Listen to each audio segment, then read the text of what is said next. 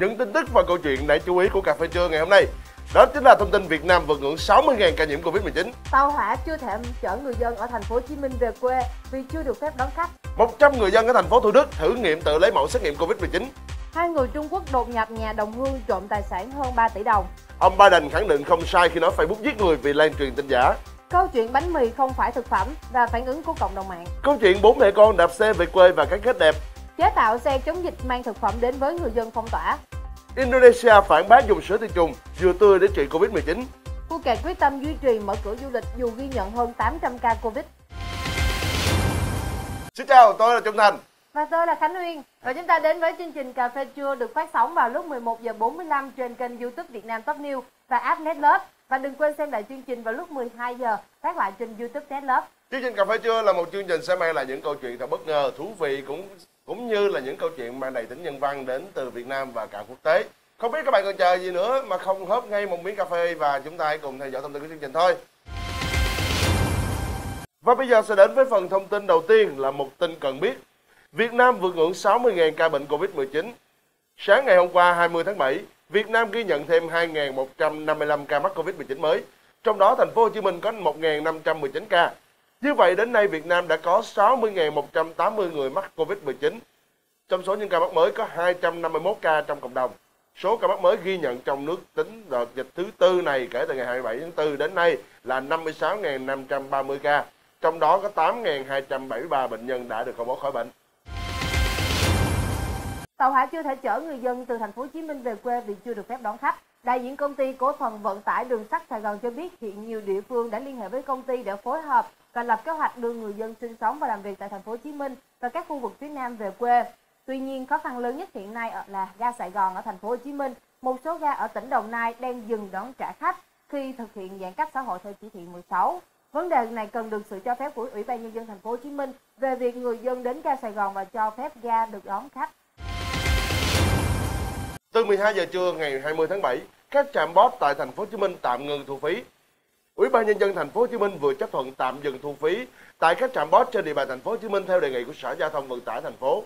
Theo đó, tạm dừng thu phí tại các trạm bot An Sương, An Lạc, trạm thu phí bot cầu Phú Mỹ, trạm thu phí bot xa lộ Hà Nội và các trạm thu trên trục đường Nguyễn Văn Linh trong thời gian thực hiện giãn cách xã hội theo chỉ thị 16. Thời gian tạm dừng thu phí từ 12 giờ trưa 20 tháng 7, thời gian tạm dừng thu phí từ 12 giờ trưa 20 tháng 7 cho đến khi thành phố Hồ Chí Minh công bố gỡ bỏ giãn cách xã hội theo chỉ thị 16. Các đơn vị phải có giải pháp hỗ trợ cho người lao động bị ảnh hưởng bởi dịch, tạm thời dừng thu phí nêu trên và làm việc với các tổ chức tín dụng để được xem xét hỗ trợ tạm thời giãn nợ, giảm lãi trong thời gian tạm dừng thu phí.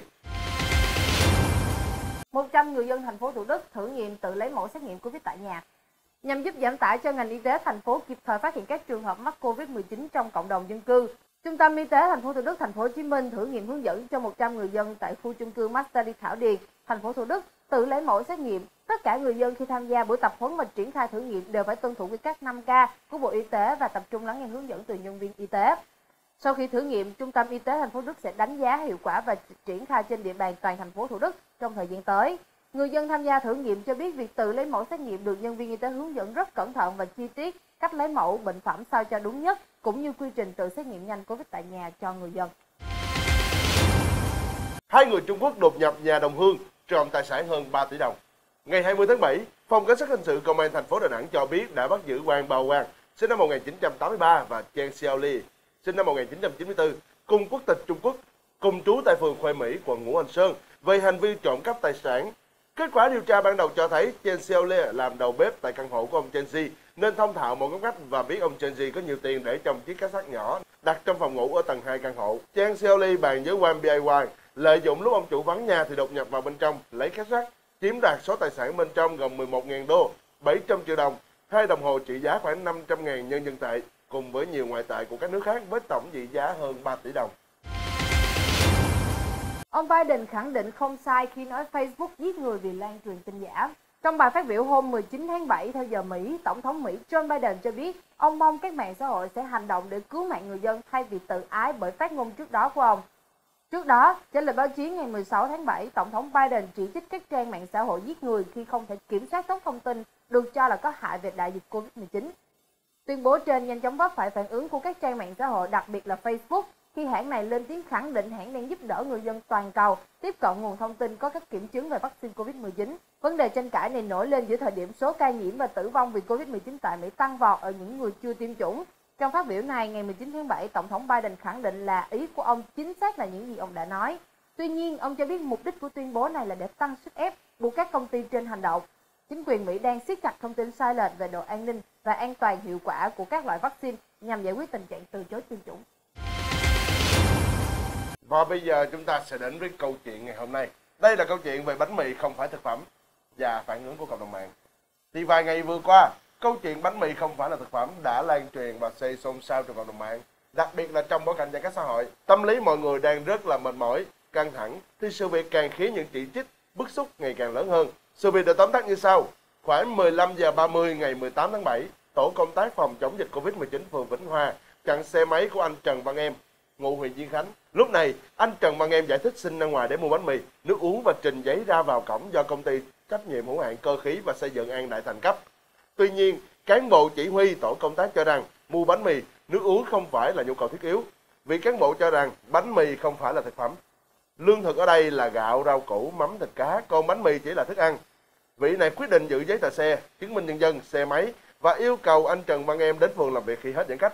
Vụ việc đã làm anh Văn Em bị công ty cho nghỉ việc tạm thời. Ngay sau khi xảy ra vụ việc, vị chủ tịch phường với phát ngôn gây sốc này cũng đã bị đình chỉ công tác và đang xem xét hình thức kỷ luật. Chủ tịch thành phố Nha Trang đã gửi thư xin lỗi anh Trần Văn Em, chỉ đạo phường trả xe, giấy tờ và không tiến hành xử phạt hành chính. Công ty của anh em ngày hôm qua 20 tháng 7 cũng đã gọi điện thông báo anh đi làm lại. Điều đáng chú ý ở đây á, là sau khi mà sự việc đưa lên mạng thì đa số là những bình luận chỉ trích về cán bộ này. Nhiều người còn làm ảnh chế, nhạc chế, thậm chí là thay đổi định nghĩa bánh mì trên Wikipedia rằng đây không phải là thực phẩm. Em nghĩ như thế nào về chuyện này? Sau khi em đọc cái tin này á, thì em cũng có một cái thắc mắc là thì lương thực thực phẩm cũng chính là thức ăn mà. Yep. Cái uh, người uh, quan chức này họ có một cái sự um, Lệch lạc. lệch lạc trong thông tin nên là mới xảy ra tình trạng như vậy có thể đối với ông ấy thì đó là không phải là thực phẩm nhưng mà đối với anh này thì anh đó muốn ra ngoài đói bụng thì mua bánh mì về ăn rồi mua nước thì đó là cái vấn đề bình thường mà Mấy hôm nay là phản ứng của dân mạng rất là tiêu cực. Người ta chửi rất nhiều và đăng rất nhiều status bình luận rất tiêu cực về hoạt động của lực lượng phòng chống dịch theo kiểu quơ đủ cả nắm. Các bạn hiểu không? Đây chỉ là một cái trường hợp là gọi con sâu lọc đầu canh thôi. Các bạn nếu còn được đang ở một nơi có quạt, có điện, gọi là có mái che nắng, không bị mưa này nọ, các bạn nên cảm thấy hạnh phúc. Bởi vì bên ngoài kia những người ở bên tuyến đầu, những lực lượng chức năng người ta vẫn ngày đêm đang ở ngoài nắng, đang gồng hết sức mình ra để mà bảo vệ chúng ta thì chúng ta thật sự đang hạnh phúc hơn rất nhiều người rồi đôi lúc em cũng muốn đi ra ngoài để em mua những cái đồ ăn nhưng mà nghĩ lại là à, nó cũng chứ là nhiều khi em cũng sợ á. Ừ, khi mà mình ra ngoài mua rồi mình mình người ta hỏi mình muốn mua cái gì thì khi mà mình nói ra thì nhiều khi em cũng sợ là sẽ bị hốt lên dạ. Không sao đâu em. Bây giờ ngay thời điểm này mà có người hốt em em nên mừng. Hốt là hốt. Bắt đi à á. bắt đi hả đó tại em nói em được có người hốt anh vui cho em và câu chuyện tiếp theo mà em muốn mang đến cho anh Thành cũng như là quý vị khán giả của chương trình Cà phê trưa là một câu chuyện cảm động về việc bốn mẹ con đã đạp xe từ Đồng Nai về quê ở Nghệ An. Cụ thể vào chiều 19 tháng 7, lực lượng phòng chống dịch tại chốt kiểm soát Trung Mỹ thuộc huyện thuộc thị trấn Phước Dân, huyện Ninh Phước, Ninh Thuận đã bắt gặp bốn mẹ con đi trên hai chiếc xe đạp về quê. Họ đều là người nghi lộc ở Nghệ An, thì đã vào huyện Trắng Bom làm việc hơn một thời gian dài.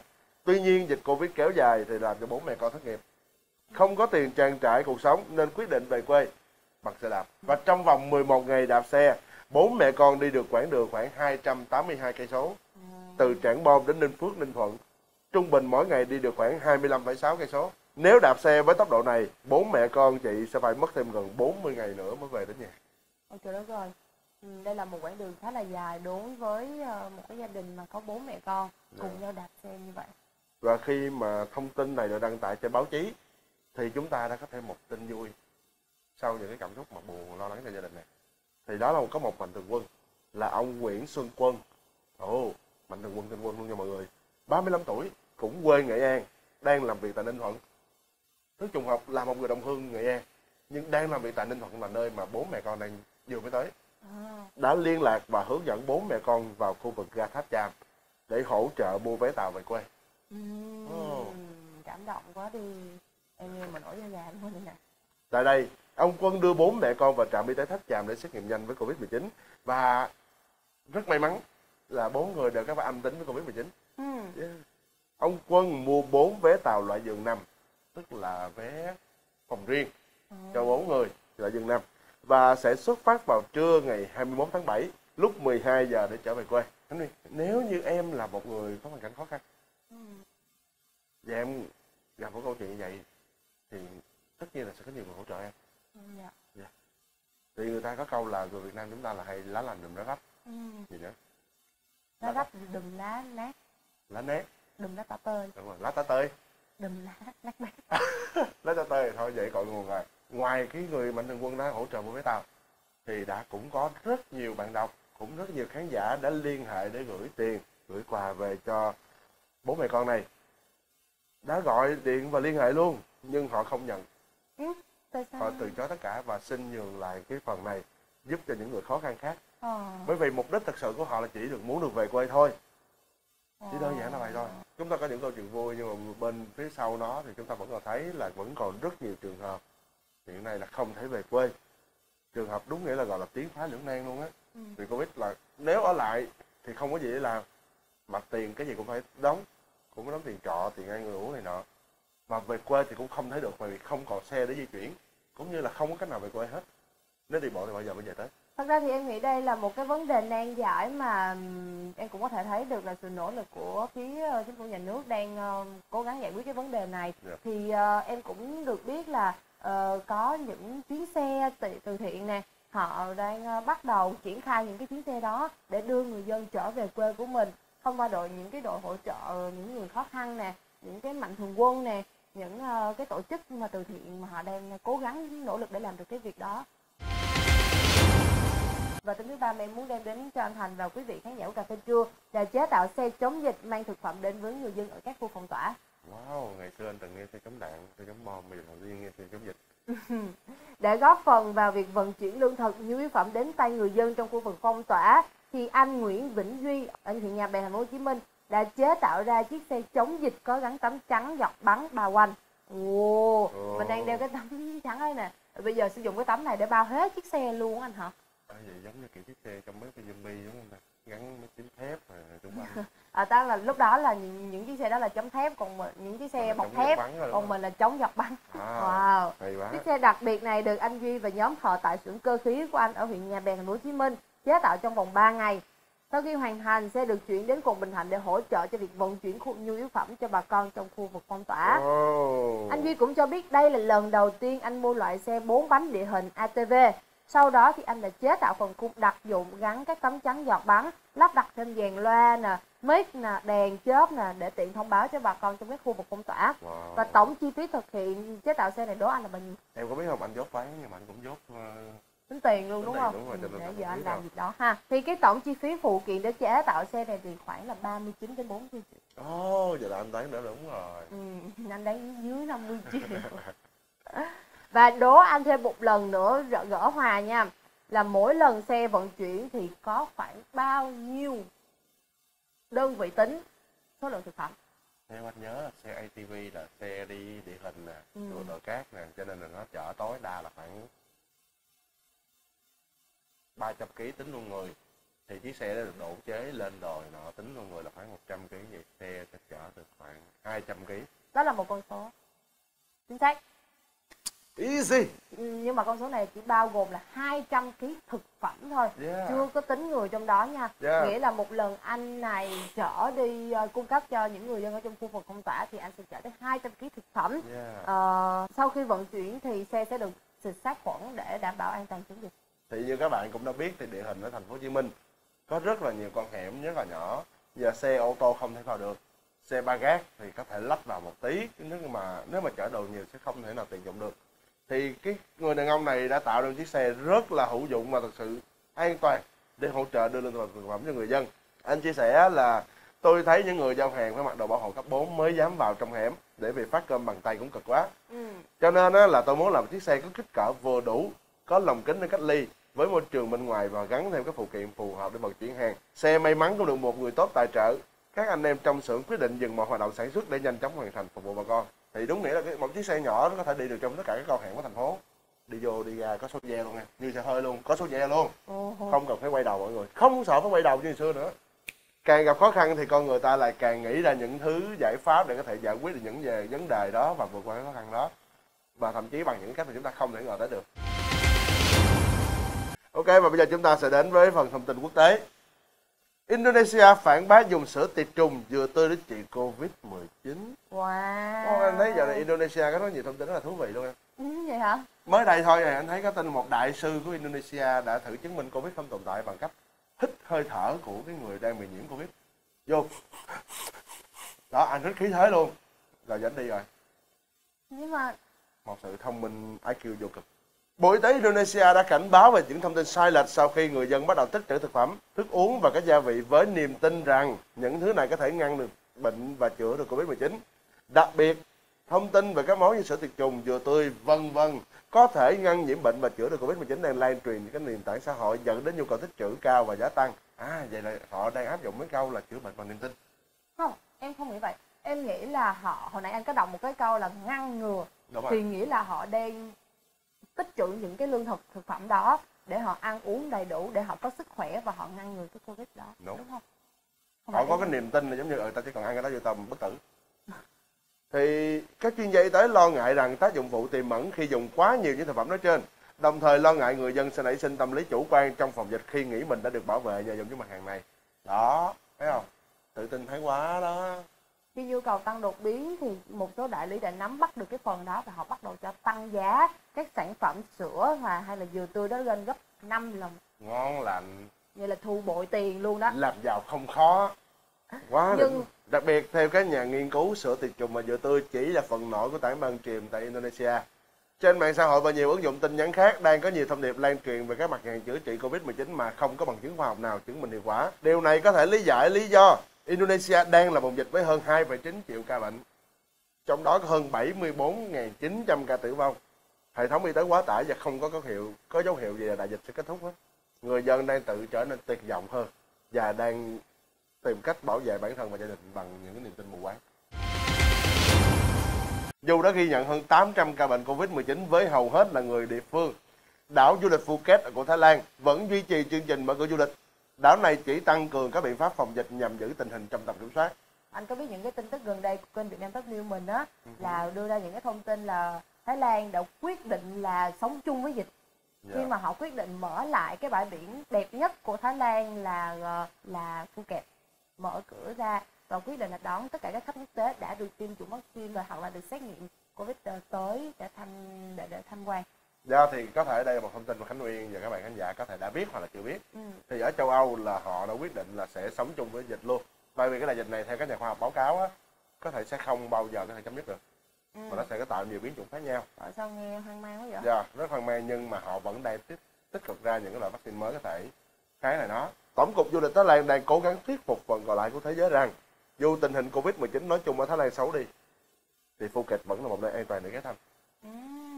Bởi vì thật ra thì em cũng nghĩ là cái việc mà đưa khách quay trở lại với Phuket nhưng mà những người khách đó bắt buộc là phải có giấy xét nghiệm đã tiêm chủng ờ, vaccine Yeah. hoặc là được xét nghiệm âm tính như thế nào đó. Thì ờ, để sau đó thì họ mới được tiến vào trong sâu vào bên trong Thái Lan. Thì em nghĩ đây là cũng là một cái em không dám nói là chính xác bởi vì ờ, hiện tại thì với cái tình hình này thì không có cái gì là chắc chắn cả. Thì họ đang thật ra thì họ vẫn đang làm tốt cái công việc kiểm soát số người mắc covid 19 đặc biệt là khách quốc tế khi họ tới ờ, Phuket Trong trọng số 807 ca Covid ghi nhận từ ngày mở cửa là ngày 1 tháng 7 này thì tổng số lượng du khách nước ngoài bị phát hiện dương tính với Covid là chiếm con số rất nhỏ là chỉ có 16 bệnh nhân. ừ, đúng rồi. 16 trên 807 thì cũng không phải là quá cao. bởi vì ờ, em có một nghe nghe một cái tin trước đây là khi mà Thái Lan họ quyết định là sẽ mở cửa vào Phuket bởi vì lý do là nền kinh tế Thái Lan đã sụt giảm xuống mức thấp nhất chưa từng có trong lịch sử của đất Yeah. nước họ. Còn tôi là người đam mê du lịch bằng xe máy. Thì tôi cũng hiểu cái tâm lý các bạn là rất là muốn đi. Không chỉ trong nước mà còn quốc tế nữa tôi rất là muốn đi rất là nhiều nơi. Nhưng các bạn ơi đây chỉ thị 16 về cách xã hội. Ai ở đâu thì đó. Đừng đi. Đi cũng bị cách ly mà về cũng bị cách ly. Vậy thôi mình đợi hết cách ly rồi mình đi. Ừ đúng rồi để hết cách ly mà đi. Hoặc các bạn có thể tải các ờ, hình ở trên mạng á xong ngồi ở nhà mình tập làm photoshop mọi người mình ghép vô mình mặc đồ giống vậy đó mình xong chụp hình ô ta đang ở Hawaii rồi. Đó các bạn. Đó một kiểu gọi là à, trang điểm Giải cái tinh tỏa. thần ừ, giải tỏa stress. Ừ, giải tỏa stress. Giải đó tỏa các những cái um, mong muốn để thỏa mãn những cái nhu cầu đi du lịch Đúng của rồi, dân hay đi phượt. Chứ, à, và bây giờ chúng ta sẽ đến với một tin giải trí. Thì câu chuyện về chàng nhạc sĩ 8X và nỗi nhớ da diết về Sài Gòn. Kẹt xe tiền xe là một cái đặc sản của Sài Gòn luôn. Nếu đúng giờ cái bo một cái là tất cả mọi người đều ùa ra. Thì với nỗi nhớ Sài Gòn vào những ngày bình yên này hình ảnh Sài Gòn thân thương dồn nén chàng nhạc sĩ 8X đã viết ca khúc thương nhớ Sài Gòn chỉ trong 30 phút. Nói thay nỗi lòng của những người con Sài Gòn thành phố Hồ Chí Minh. Wow 30 phút rồi hả? Ghê chưa ghê chưa ghê chưa? Ghê chưa? Thì đây là nhạc sĩ Nguyễn Bá Hùng. Anh cho biết là sáng tác ca khúc thương nhớ Sài Gòn từ cảm hứng đọc dòng trạng thái trên Facebook của MC Bá Niên hứa với bản thân sau này ra đường có kẹt xe máy cũng sẽ không bực bội. Ừm. từ đó anh mới nhớ rằng Sài Gòn những ngày chưa có dịch nè. Tuy nó ồn thì ồn luôn tiếng còi xe này nọ tiếng xe máy. Kẹt xe nữa nóng bức nhưng mà lại rất là năng động rất là náo nhiệt và cuộc sống rất ý nghĩa vô cùng luôn. Và anh Nguyễn Bá Hùng quyết định ngồi vào đàn piano và viết ngay ca khúc trong vòng 30 phút. Với những cái câu như là tôi nhớ chiều thành phố ồn ào tiếng xe cộ. Tôi nhớ chiều ngoại ô rộn ràng nhiều căn gió à cái này là câu hát nha mọi người nhưng mà mình chưa có nghe cho nên mình đọc rap thôi mọi người thông cảm nha. Thì có lẽ là do cảm xúc nhớ Sài Gòn những ngày yên bình đã dồn nén trong lòng đủ lâu. Hình ảnh thân thương của Sài Gòn hiện lên trong đầu quá rõ nên anh viết rất nhanh. Hồi nãy anh nói cái câu là Sài Gòn không bao giờ ngủ thì bây giờ ai làm việc mà chẳng có giới hạn đúng không? Thì Yeah. cũng phải nghỉ ngơi. Thì bây giờ Sài Gòn đang nghỉ ngơi mà. Nhưng mà Sài Gòn nói chuyện nó đừng lâu quá. Sài Gòn có gì đẹp? Bây giờ mình mình kể lại các bạn cho các bạn thèm chung với tụi mình đi. Ừ. anh nhớ những chiều mưa mọi người tụng nhau dưới một cái cành cái nhánh cây nào đó hoặc là đứng chung với nhau ở dưới cái gầm cầu vượt á. Thì anh hứa là sau này nếu mà anh đi ở gần cầu vượt mà trời mưa á người ta đứng đông á thì anh cũng sẽ không bấm kèn anh không có chửi nữa. Anh sẽ hiền mọi người ơi mình đứng nép qua một bên cho xe đi qua này cảm ơn mọi người. Còn đặc sản của Sài Gòn em nhớ đó chính là những cái hẻm ăn uống. Em ơi đừng nhắc ăn uống nên nói đó em đảm bảo với anh luôn hả? Không có một người nào mà không ghiền cái đạo những cái con hẻm ăn uống hết trơn á. À. bây giờ nha mình bây giờ mình lên một cái ID kinh doanh đi. Vừa hết dịch một cái ập trình bán liền là đảm bảo với anh luôn là mình bội thu. Nhưng mà vấn đề là vốn đâu mà làm. Nguyên liệu đâu mà làm á em. Thì ờ, mình tích trữ. Mà tích chữ sao đi ra khỏi nhà sao? Thì mình đã nói là lên ID đi mà rồi bây giờ rồi- lên ID rồi kêu gọi tài trợ. Và kính thưa quý vị và các bạn tôi là Trung Thành và đây là Khánh Nguyên của chuyên mục cà phê trưa. Chúng tôi quyết định sẽ mở dịch vụ bán trà sữa no và đồ ăn sẽ vặt. bán cà phê trưa vào buổi trưa. Chưa. Chúng tôi sẽ bán trà sữa và đồ ăn vặt vào buổi tối và bán cà phê vào buổi trưa cũng như buổi sáng bán đồ ăn sáng. Hiện tại chúng tôi đang không có vốn cũng như không có nguyên liệu. Nếu quý khán giả nào yêu thương chúng tôi có thể donate vào số tài khoản phía dưới à, để qua dịch Khánh Nguyên có thể thực hiện cái niềm đam mê của mình. Em nghĩ là em sẽ bán ờ, cà phê vào buổi trưa sau đó thì em vừa bán em vừa quay hình luôn. Và thưa các bạn, rất cảm ơn mọi người đã theo dõi chương trình Cà phê trưa ngày hôm nay. Thì chương trình này sẽ được phát sóng vào lúc 11 giờ 45 trên kênh YouTube Việt Nam Top News và app NetLove và cũng sẽ phát lại trên kênh YouTube NetLove vào lúc 12 giờ. và các bạn không biết là hôm nay các bạn cảm thấy ấn tượng và thích thú với thông tin nào nhất. Em nghĩ là mọi người thích cái tin tức mà em mình sẽ ra ngoài mình bán vào À. ờ, sau dịch. Đó là một cái tin nó không có chính nó không có nằm trong cái, chính thống cho mọi người. Nhưng mà nếu mà tôi nghĩ thì anh nghĩ là các bạn sẽ có rất là nhiều cái điều nữa mà Muốn làm chọn lựa chọn cho hôm nay đó. Yeah. Các bạn hãy comment, like và share ngay ở dưới video này cho tụi mình nha. Và các bạn cũng đừng quên là cái nè. Subscribe. Yeah. Nhớ subscribe kênh của tụi mình luôn để đón xem những chương trình mới cũng như những tập phát sóng mới nhất của cà phê trưa. Vậy một lần nữa thì Khánh Huyền, và Trung Thành xin cảm ơn tất cả mọi người đã quan tâm theo dõi và hẹn gặp lại.